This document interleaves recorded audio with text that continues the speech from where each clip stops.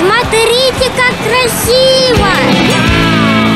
Телепортационный прыжок и обычная приморская семья, выезжая из тоннеля на Золотой мост во Владивостоке, вдруг оказывается в Сан-Франциско. Про их фантастические приключения на другом конце света и возвращении домой рассказывает кинолента, посвященная нашему городу. Смотрите, как красиво. Идея создания фильма родилась именно из этой фразы.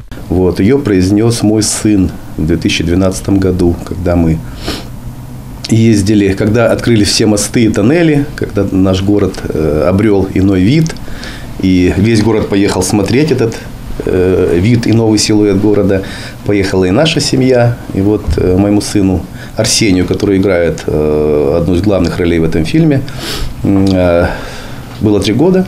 Сегодня второклассник Арсений Сиденко – обычный учащийся средней школы Владивостока. Съемки в отцовском фильме стали для него настоящим приключением. Самые запоминающиеся моменты, конечно, в Сан-Франциско. Однако работа Арсения в ленте стала настоящим испытанием и для съемочной группы. Ведь за время работы ребенок не только успел подрасти, но у него выпали и молочные зубы. Пришлось ждать, пока полезут коренные. А что еще тебе понравилось? Когда мы ели знаменитый крабовый суп. Попав в Сан-Франциско, отец с сыновьями испытывают невероятную эйфорию. Но проходит время, а вместе с ним и новизна. И возникает вопрос, как вернуться домой во Владивосток, ведь там любимая мама и жена. Смотрите, как красиво в первую очередь фильм о семейных ценностях. Здесь и фантастика, и мелодрама, и комедия. Съемочная группа совершила настоящий подвиг. В невероятном смешении жанров, смене мест и событий на первом месте остается Владивосток. Каждый город красив, конечно, по-своему. А, в Сан-Франциско мне понравилась погода. Там постоянно было солнце и очень красивое солнце. Это одна из причин, мне кажется, почему вот Голливуд, там же рядом находится Калифорния, а, почему там много фильмов снимается. У нас в городе очень сложно было поймать красивую погоду.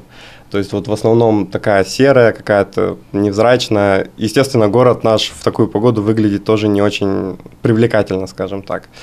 Но когда у нас солнечная яркая погода, наш город выглядит очень красиво. За время работы над фильмом, а это около двух лет, съемочной группе пришлось не только ждать у моря погоды и играть со светом, но даже сталкиваться с американской полицией и немного нарушать закон. На крыше тоннеля возле моста «Золотые ворота» оператор забрался без всяких разрешений. Абсолютно нелегально забрался. Над туннелем. Надеюсь, никто не увидит. Второстепенную, но очень значимую роль улыбки чеширского кота в фильме сыграл Илья Лагутенко. Папа твой так и называет тебя фантазером? Называет, и мне это нравится. Смотрите, как красиво снят на обычные зеркальные фотоаппараты и мобильный телефон. Но это не домашнее кино. Создатели уже готовят ленту к широкому прокату в кинотеатрах. После съемочного дня мы подъезжаем к какому-то кафе. У нас стоят наши российские номера. А, возле большого витражного окна дамочка сидит, пьет кофеек.